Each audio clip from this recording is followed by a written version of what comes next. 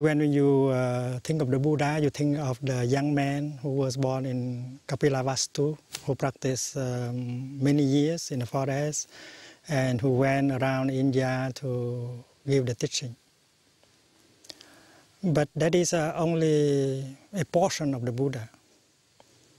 Because uh, the moment when the Buddha began to uh, build a Sangha, he began to transfer himself to the Sangha. And many disciples, uh, monastic like uh, lay, they continue the Buddha. And you have to see the Buddha in the Sangha.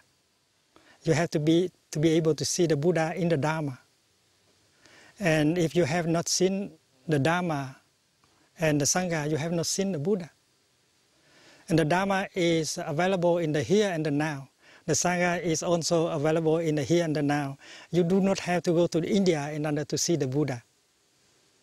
If we uh, believe that Buddha is a God, they can bestow on us um, the things we want, uh, then, and then that is not the Buddha. The Buddha is a human being who has uh, a deep capacity of understanding and of loving.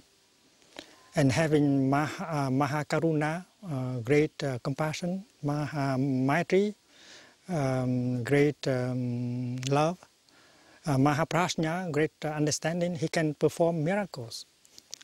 Uh, understanding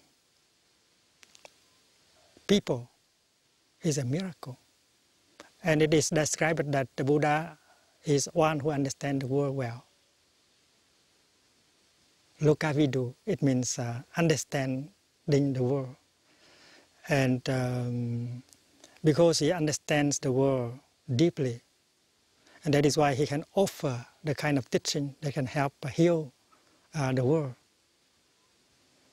And um, uh, the miracle of understanding and the miracle of uh, teaching are very important miracles that the Buddha can perform. Uh, when you give a teaching that can transform people who, who hear you, that is a miracle the Buddha described it as the greatest miracles of all miracles. And there are, there are disciples of the Buddha who were capable of doing that during the time of the Buddha. They could already continue the Buddha in the time of the Buddha. And in our time, there are those of us who can do the same by their practice, by their teaching. Uh, they can uh, heal people, they can help people liberate uh, themselves from their suffering. So the miracle continues